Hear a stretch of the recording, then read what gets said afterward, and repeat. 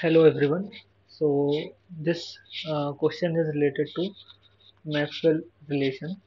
Here we have to calculate the melting point temperature of the substance at this pressure. Okay. So uh, remember this point.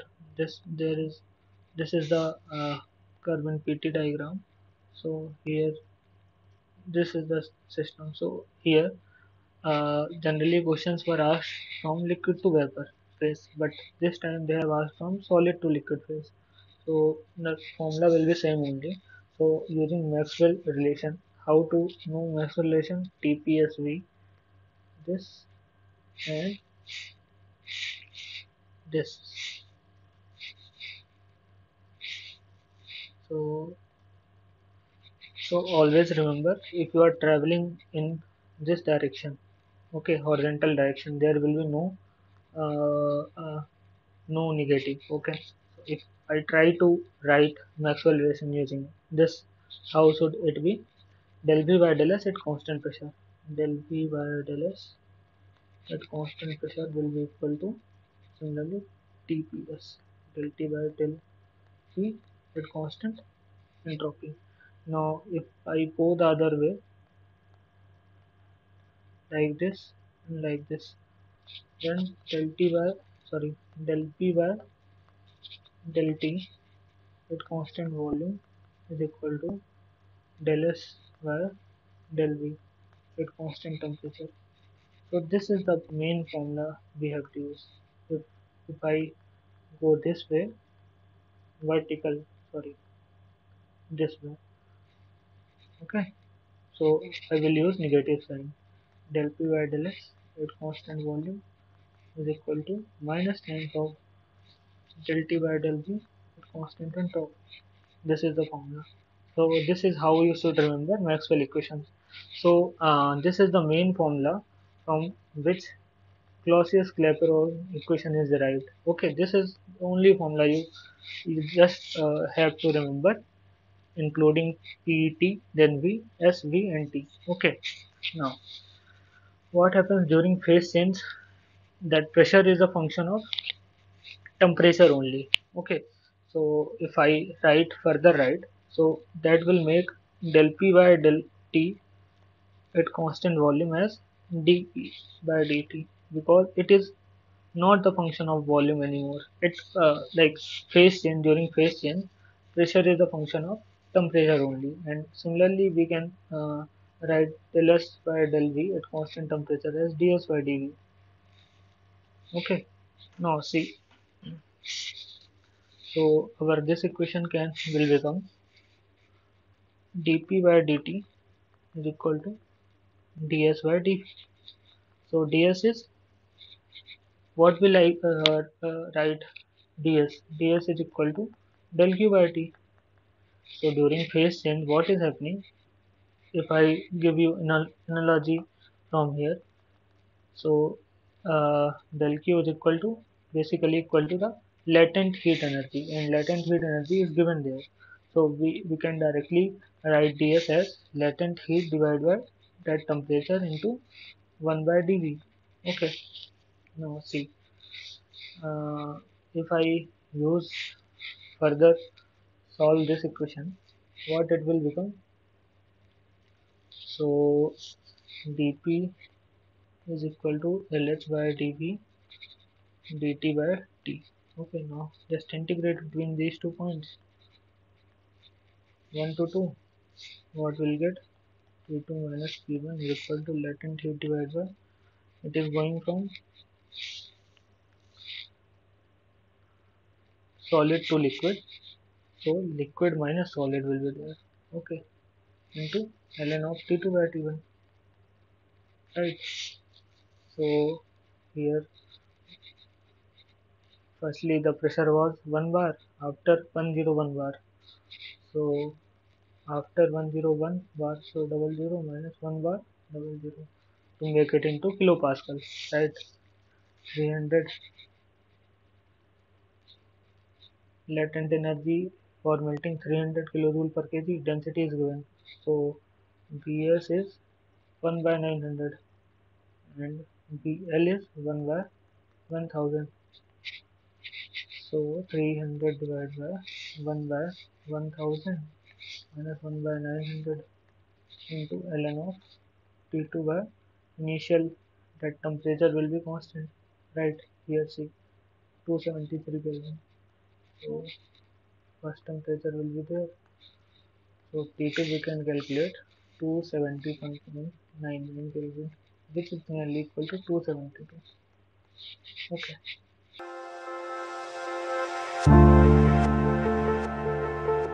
This question uh, includes involves the regeneration in Brayton cycle. So uh, we have been given the enthalpy at inlet to turbine exit of turbine and exit to compressor. So uh, so I will give brief idea about how regeneration regeneration is used. So what uh, sorry. This air standard cycle so.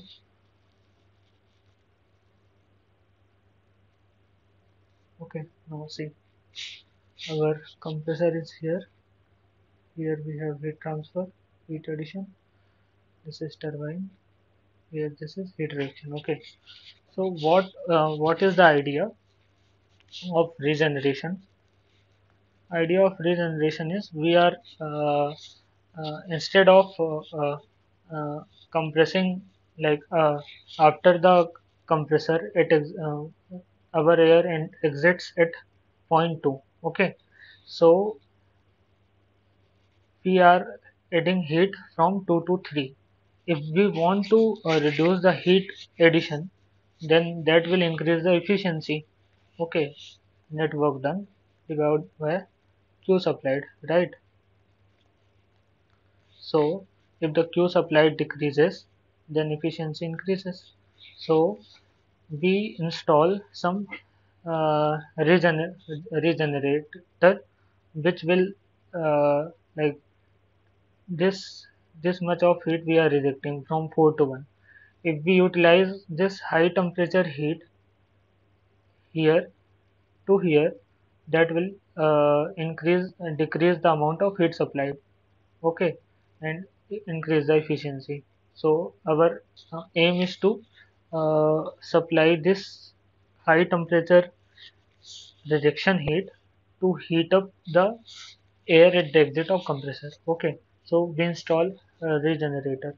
So this is our uh, main concept that here from 4 to 4 days let's say 4 days our uh, high temperature heat only high temperature heat not the total heat because anyway some uh, heat we should be rejected.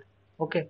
So uh, here from 4 to 4 days high temperature heat will come and here we have installed a regenerator so from 2 to 2 days it will like here it will uh, uh, the temperature of this uh, air coming from the compressor will increase. Okay. So we define something called effectiveness of regenerator effectiveness of regenerator is maximum it uh, maximum amount of heat it can gain. So maximum amount of heat is 4 minus 2 see so this is the uh, initial uh, air coming out from compressor. It has lowest temperature out of all these uh, temperatures all these of all these states of air. Okay. And what actual heat transfer how much heat transfer actually it is happening? 2 dash to 2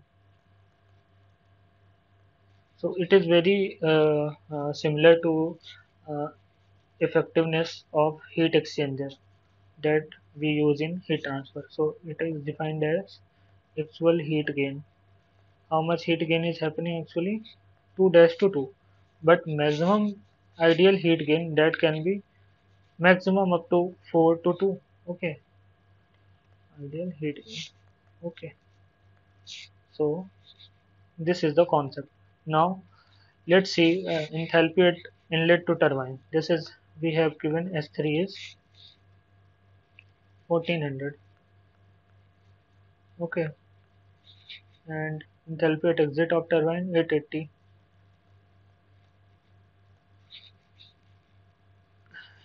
at the exit of compressor H2 is how much?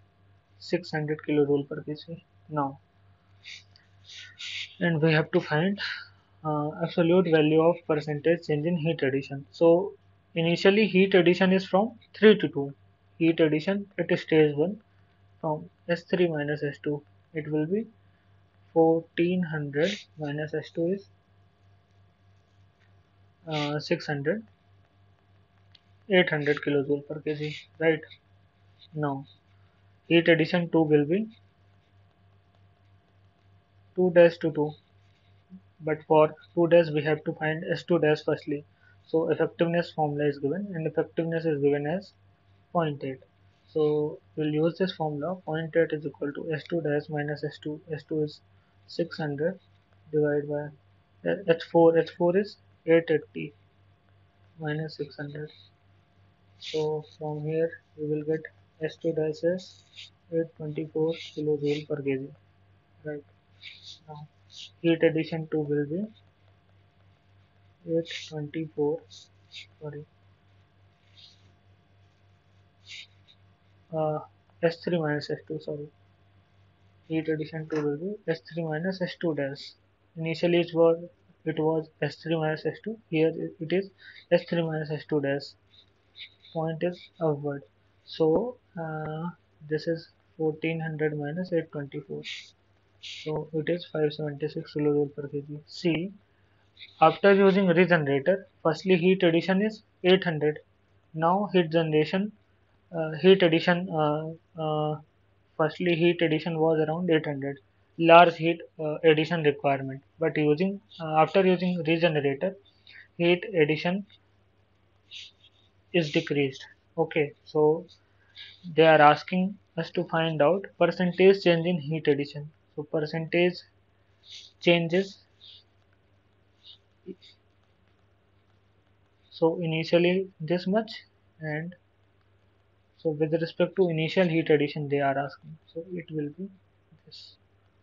So this will be 800 minus 576 divided by 800 into 100 this in percentage this is 28 percentage. Okay. So uh, this question is based on the compressible flow. So this is very easy question from the compressible flow. Only thing that you have to use here is the formula of Mach number. Okay so here we have two things. This is like we have converging diverging nozzle here we have some area here the two area okay this is inlet. This is outlet. Okay. Now see.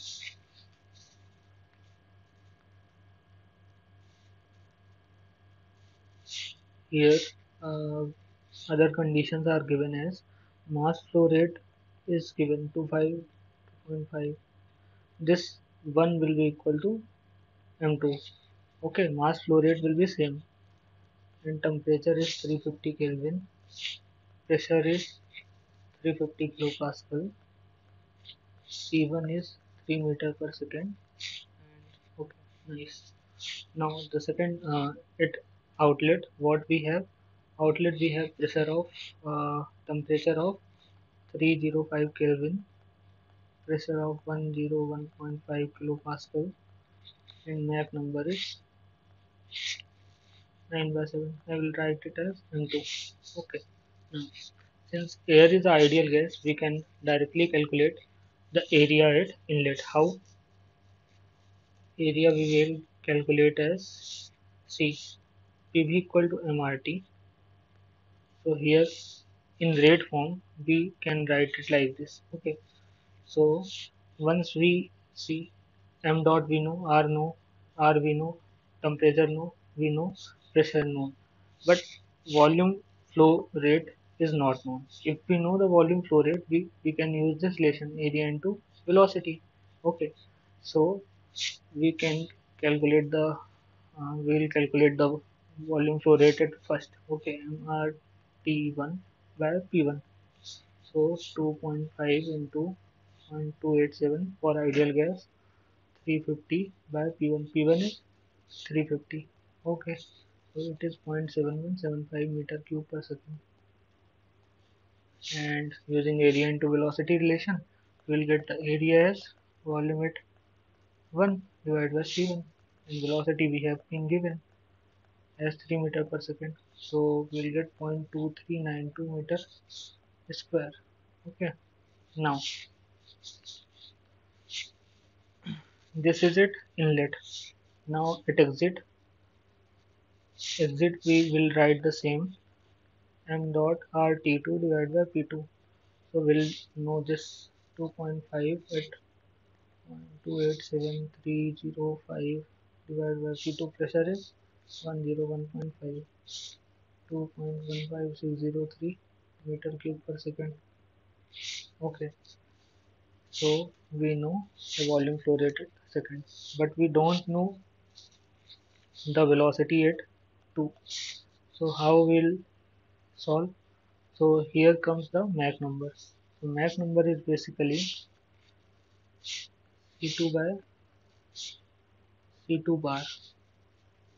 Okay and where C2 bar is speed of sound velocity of sound at exit okay so for this we have this relation gamma RT where we have to put R in joule per kg otherwise what we'll get is not in meter meter uh, like this should become meter square per second only then we'll get the velocity in meter per second that's why you have to put this in joule per kg kelvin right so from here you will get c2 as m2 under root of gamma r t2 okay so now c2 is equal to what is m2 9 by 7 and ideal gas 1.4 into r is 287 into 305 this will become c2 is equal to 450.09 meter per second okay so here a2 will be v2r by c2 right 2.15603 divided by 450.09 so this will equal to 0.00478 meter square. Now therefore we can calculate the ratio of inlet area to exit area. Okay to satisfy this condition a1 by a2 so this will be equal to I know I, I have calculated it. So this will be equal to 50.041 okay so one decimal place will be round. So this will be equal to 0